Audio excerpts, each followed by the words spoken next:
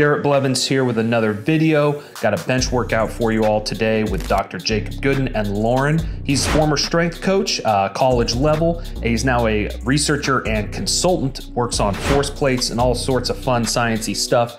Super strong dude. Uh, hasn't been working out as much anymore, but he still may outbench me. Uh, just super jacked as you will see from the video. I'm excited to see if I can improve on last week where I did 365 for five. So let's see, uh, see how today's gonna go. Joining us today for the first time is researcher, sports scientist, strength coach extraordinaire, Lauren Green, uh, formerly with UCSD. So he's in town today. We're just discussing some potential research collaboration. So fun times, and we're gonna get a lift in, and uh, we'll take you guys along for the ride. Yeah, kids keeping me up all night. Daughter's teething right now, so sleep is at a, uh, a premium these days, but just gonna get in what I can. That's part of what being a dad and business owner and all that is, you know. It's never going to be optimal, but you just get done what you can. Hop out of the office. Is this what you're doing? Just warm up sets? yeah, yeah, okay, cool, that's fun. Head back out. That was the, the grazing I was talking about. Yeah, there you go. It's crazy how many reps you can sneak in a day. You just, obviously it's not condensing on the same fatigue aspect to it, but Yeah. you can sneak in a hell of a workout throughout the day, volume wise. Uh huh. Yep. I mean, especially in the environment. Yep, That's set right. here, set there.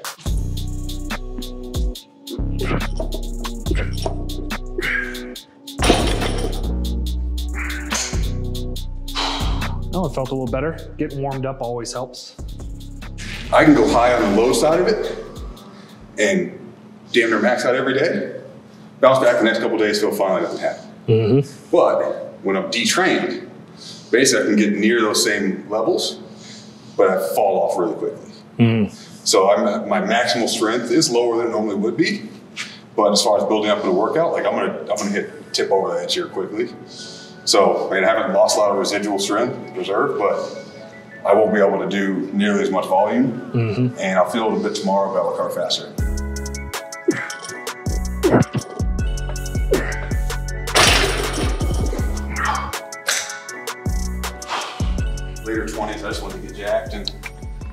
Didn't we? all? Yep. just do some cool stuff. We don't understand about that at all. No, we don't. We don't understand about when we get jacked.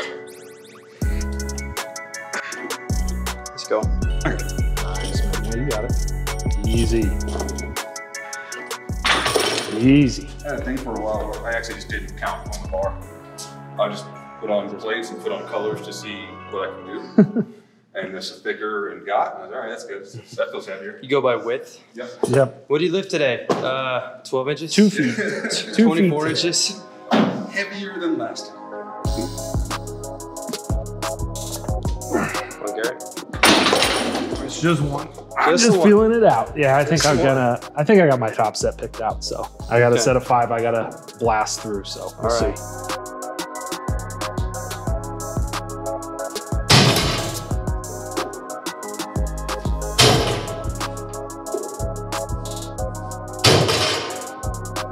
Look good, man. Looks Good. Back was in a great Smooth position. and breezy. I'm trying a new thing where I lift in uh, actual shoes. Oh, you got this. Let's go, Lauren. Push, push, Push, push. push. There you Let's go. go. Let's Finish go. it out. Nice. There it is. Yeah, this is up there, man. Yeah, buddy. All right, Garrett. Wake up call. Yeah, it just makes me feel bad about How, myself. how heavy was that bicep curl for you, Garrett? I, you know, you know, I was just I was leeching so much energy off of Lauren. You know, it's not even fair. Probably actually was pushing it down a little bit to make You were sure. pushing it down. I think that's what I, I had the thumbs going the other. That was a concentric accentuated lift. yeah, Is that what you're exactly. saying? That's that's what yeah, that's what we're gonna go with. yeah, there we that go. was good. There we go. I appreciate that. But you'd let me know if you needed a spot, right? Yeah, I'm thinking a little bit about it. I mean, I'm supposed to, I'm supposed to push this set a little bit. So, I mean, I did 365 last week in undershot. So, I'm gonna go for it, and we'll see. This is for five right here. For five, yep. All right. Not, not having a spotter, just take that Yeah. that line of death. Yeah, that's right. That's gets the adrenaline going. Jesus, take the wheel. Closer to death, closer to God.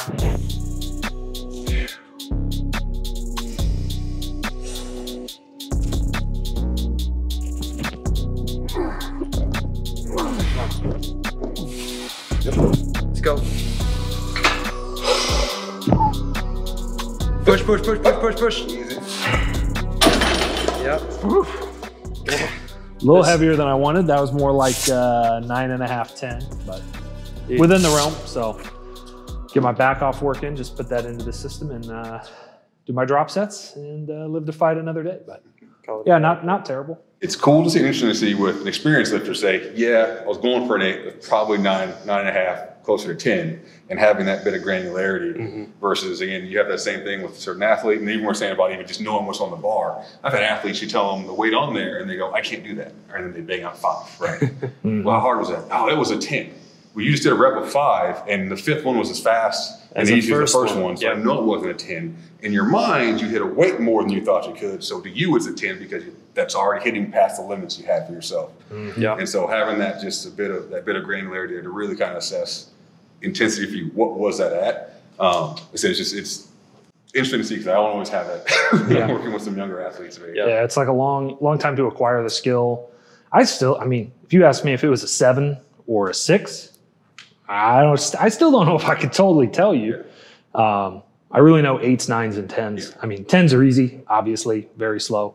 Nines usually can tell. Eights and sevens are already starting to blend. So, but if you know it's not a nine and you know it's not a six, then you can get somewhere in the middle and be okay. Yeah, for sure. There we go. Easy. There we go. All right, what's your RPE? Seven. Seven. Solid seven. Yep. You look good.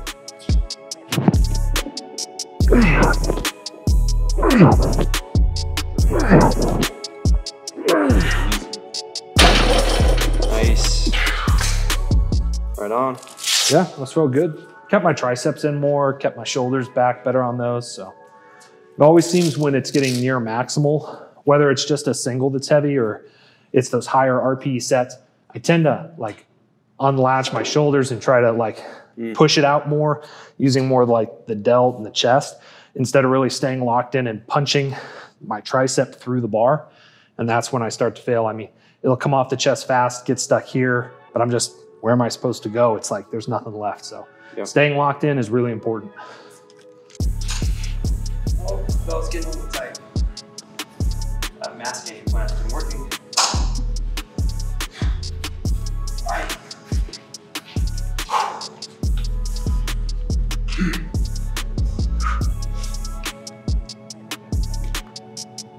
Yes. yes. There we go. Squeeze. All right. Lost a little bit of tightness, but that's okay. I don't know. What do you think? In your head, when you got kind of mid shin, you get to almost that sticking point there. What, what, what's your cue in your head? My cue is push. In my mind, it turned into a bit of pull versus push, and I wanted to say push, push, push. Don't know Okay, if that's the cue in your head or if that's what it syncs with you. Uh, do the mo- so. Yeah. So essentially, in my head, and again, this is one of those like, am I creating tension top down to the bar, or am I sinking in, sit blocking them together, and allowing the lower half to do the moving? Yeah. And it, as you were trying to kind of save and get yourself back together, it turned into pull, pull, pull, because you're, you're looking to create that stability. Always helps to have multiple eyeballs. Yeah. But I am happy because 385 for five at nine and a half did give me 365 Yes. for my I knew it. Anyways, so yeah, I started working on Evolve and basically AI for strength training really about eight years ago. I was working with a lot of one on one clients in my own coaching and doing a lot of repetitive tasks of programming. I mean, when you're writing a strength program, it's not completely brand new, totally off the wall every time. No, you make unique adjustments, but there's a ton that's the same.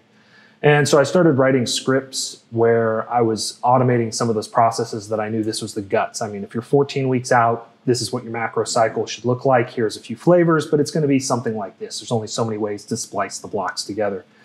And as I did that, I was like, well, I'm when I have somebody with these weaknesses and these competition lifts and these styles, whether it's low bar, high bar, wide grip, close grip bench, uh, sumo conventional, whatever, I knew that there were certain exercises that I was going to include at various phases to try to address weaknesses, depending on how long the training cycle was. Without the domain specific knowledge and being in it, I don't think I could have just worked with an outside developer to get an app put together to do it. It's there's so much in house. I think that's part of the, I would say the fear when we talk about AI and future technology is that this idea that we're, it's the computer taking over and taking our job. It's like, no, if you're truly a domain expert, you truly understand what you do, you know what you're going to do when scenarios come about and how you want to approach that. What we're talking about doing is how do I streamline that process mm-hmm. to then say, if scenario A, if scenario B, if scenario C, within that, if sub scenario one, two, or three, here's my what I will be feeding into the AI. Here's my knowledge that says decision, decision, decision. Mm-hmm. Um, and so I think it's, it's really cool you put that in. I think I was talking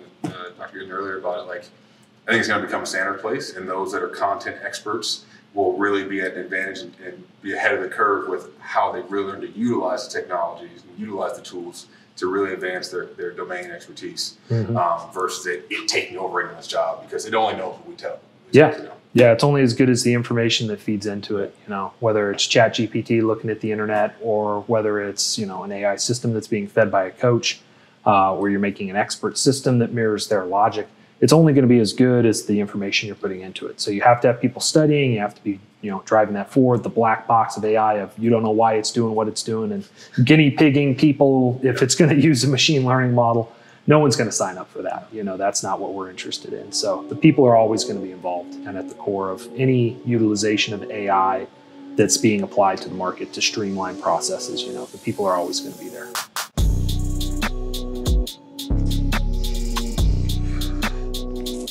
Got it. Let's go. Let's go.